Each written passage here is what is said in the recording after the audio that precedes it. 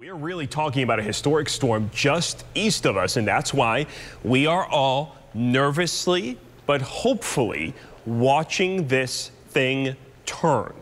Really need that to happen, and until it gets north of a position directly east of Tampa, I'm not going to sound the all clear. We got to get this thing out of here because it's moving so slow one mile per hour, the momentum of the eye could jog it east or west closer to Florida at any time.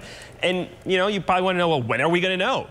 At one mile per hour, in order for this thing to get north of Tampa, it could take 36 hours, maybe more, to get this thing out of there. So I'm not going to be able to fully clear us today, or really the east coast of Florida.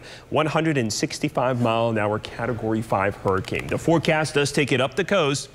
But some of the models are starting to hug the coast, and that's why the Carolinas, they're prepping here, Charleston up towards Wilmington for a much closer encounter with the storm. So the red here is the GFS, the white is the Euro. This is the new GFS that came out this morning. Watch the red the bullseye there, the circle, that's the center of the storm. The Euro keeps it comfortably offshore for hurricane wind, but the GFS has it closer, maybe only by about 30 miles.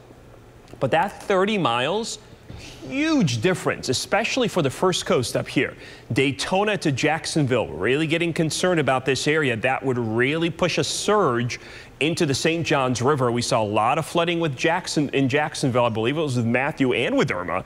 Uh, we could see that again. And then it takes it up the coast, hugging the South Carolina coast, the low country, maybe an eye wall uh, moving through or parts of the eye wall through Charleston and then up the uh, east coast through the Carolinas. Tropical storm watches for Polk and Highlands County. Tuesday would be the day to see those. Right now, the center of the storm still far away. What we're getting is not even clouds directly associated with the storm. It's just moisture off the east coast. And notice there are some showers near Orlando. Those are going to move into uh, Pasco and Hernando County. The outer rain bands, showers along the east coast of Florida. The eye itself over Grand Bahama. Took a jog to the north this morning and now it's heading directly west again, kind of drifting toward Freeport. We're definitely done with the system by the weekend. Now, it is going to turn breezy today, tomorrow, and Wednesday, but I think by tomorrow night and Wednesday, we're really going to see Dorian accelerate to the north and east so that by Wednesday night, I think we'll definitely be all clear here near Florida,